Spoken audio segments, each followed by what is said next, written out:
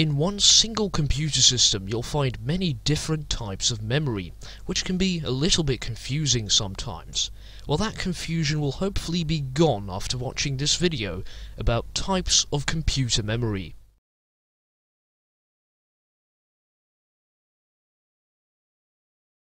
The first type of memory that we're going to talk about in this video is the cache memory, which is located inside the CPU of the computer.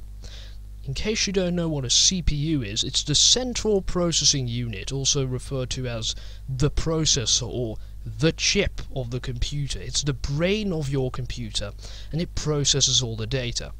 Now the cache memory is inside that CPU. Now this cache memory is like your pocket. When you're working on something, you can very quickly put something in your pocket and then you can grab it again two seconds later. It's very, very accessible. Just like cache memory. Cache memory is very close to the CPU, actually it's inside the CPU, so it's very fast. It has an insane speed, just like your pocket is really close to you but also it's a really tiny amount of memory. So just like your pocket you can't put a lot of stuff in there. So CPU cache is also a very low amount of memory. It doesn't have a high capacity. Level 1 CPU cache is the fastest CPU cache but it's only like nothing. It's 64 kilobytes on the CPU that I'm using to record this voiceover. Then level 2 cache and level 3 cache is slightly slower and is usually expressed in megabytes, which is still quite a low amount of memory. Also, CPU cache is volatile, which means that when you turn off the power, everything that is inside this memory gets erased. Now the next type of memory that we're going to talk about is the RAM, or the random access memory of the computer. RAM is still directly connected to the CPU, but it's not inside the CPU. Also, a long time ago the RAM was actually not directly connected to the CPU. There was a little chip in between them called the North Bridge, but these days the North Bridge is inside the CPU, so the CPU can now deal with the RAM on its own. The task of the computer's random access memory is the same as the task of the cache memory. It's for temporarily storing stuff. However, it is slower than the cache memory. It's actually much slower than cache memory, but it also has a much higher capacity. You can store more stuff in your computer's RAM.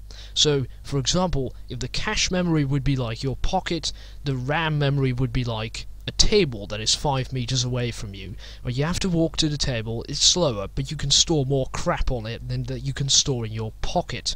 Still, it's only for temporarily storing things, so you're not going to put something in your RAM forever. Also, just like cache memory, RAM is volatile, which means that when the power is turned off, all the data that is in the RAM is lost. The next type of memory that we're going to talk about is storage. Storage is used to store data for a longer period of time. This is where you store your videos, music, pictures, whatever, and it's also where your operating system, so Windows, Mac OS, or Linux, is actually stored in. Storage memory is very slow, which makes it unsuitable for things like caching and temporary stuff, things that RAM and cache memory are doing, but it is very suitable for long-term storage, since storage memory has a very high capacity. You can store a lot of data on a hard drive. See it like this. The cache memory is your pocket and the RAM memory is the table 5 meters away. The storage is a closet in a different room. It's much slower than the RAM and the cache because it's much further away. You have to walk all the way to it. But you can also store far more stuff in there than you, that you can store on your table or in your pocket. Then storage can also be divided into two categories. There is magnetic storage and there is flash storage. Magnetic storage means that the data is actually stored on a hard drive. If you want to know about hard drives and how they work, then go watch the video that I made last week.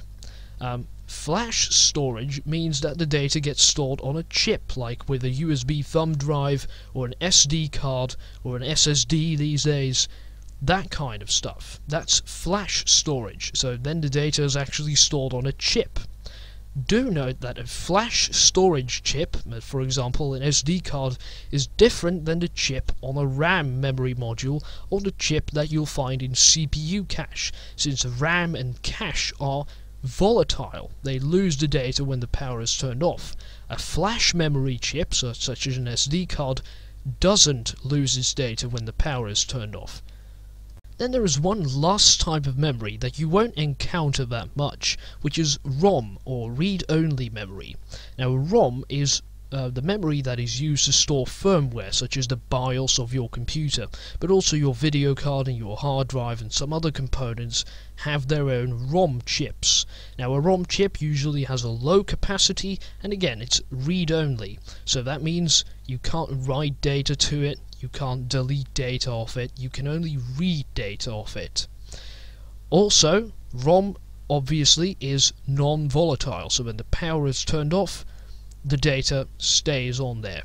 So these are the main different types of memory that you'll find inside a computer system. I hope this video made computer memory a little bit less confusing and complicated. Anyway, I hope you've enjoyed the video and thank you for watching.